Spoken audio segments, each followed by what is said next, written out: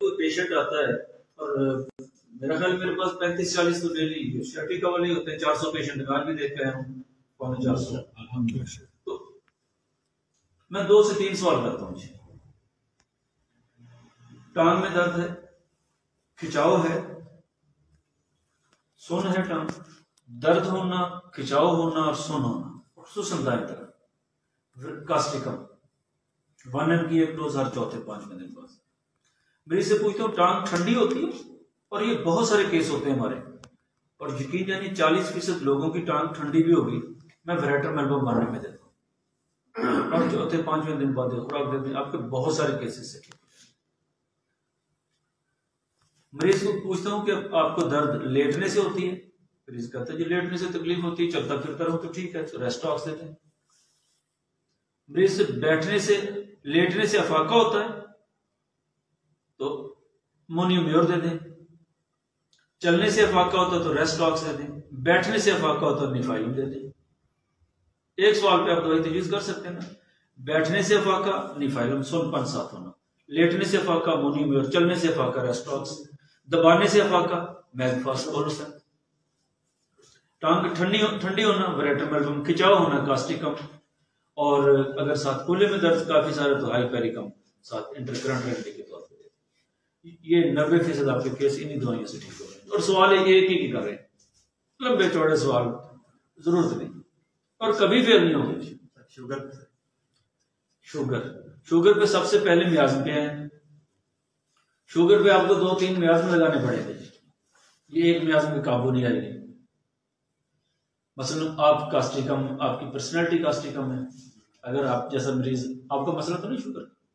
हाँ जी ठीक है। ये डॉक्टर साहब खड़े हैं, मुमताज़ साहब। मेरे साथ इनका फ़ोन पे ये मरतबा गालमन रहा हुआ है। तो ये पर्सनैलिटी कास्टिकम की पर्सनैलिटी है जो। मैं अपने क्लिनिक में जो करता हूँ, ऐसे समझे मेरे साथ मेरे सामने पेशेंट है, और मैं इनका नुस्खा तजवीज़ करने लगा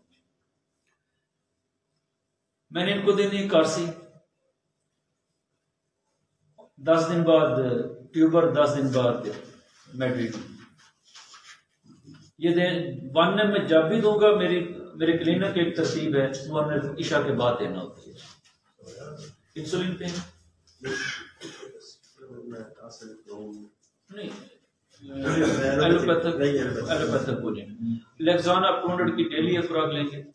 पढ़ेंगे ये शुगर की बेहतरीन दवाई है लेक्सान टोनर डेली खुराक आर्सेनिक ब्रोम ले रहे हैं।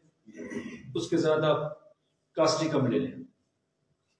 थर्टी में ले लें सुबह आर्सेनिक ब्रोम कास्टिकम एलेक्सान डेली की खुराक बदल लगा दें।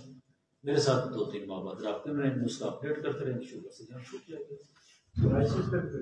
हाँ जी सुरेसिस सुरेसिस में आप इंथ्रासिनम वन एम ये लाजमी देंगे। बेसलिनम लाजमी देंगे। उसके साथ अगर मरीज़ के वो छिलके से उतरते हैं पेट्रोलियम टू हंड्रेड डेली खुराक देंगे। मरीज़ के खानदान में, पस मंजर में टीबी हिस्ट्री मौजूद है आर्सेनिक आयोडाइड बेहतरीन काम करेगा। बेहतरीन काम करेगा। और आपके बहुत सारे केस निकाल के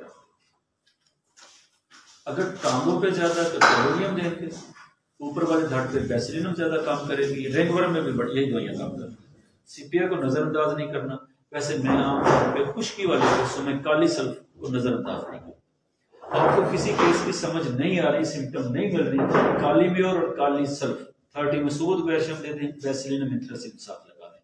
पेट्रोलियम टू हंड्रेड के लिए दो दो दे आपके स्ट्रेसेस के केस निकलेंगे, लेकिन मरीज़ को ये कह दें कि आपको दवाई तीन साल, चार साल खाना पड़ेगी। अगर आपको जल्दी है तो आप इलाज ना लें। मैं पहले दिन अगर आप जल्दी का मसला है आपका तो हमारे पास आपका इलाज नहीं है। अगर आप सब्र करने वाले हैं तो इलाज मौजूद ये पहले दिन बाबर करवा देता हूँ।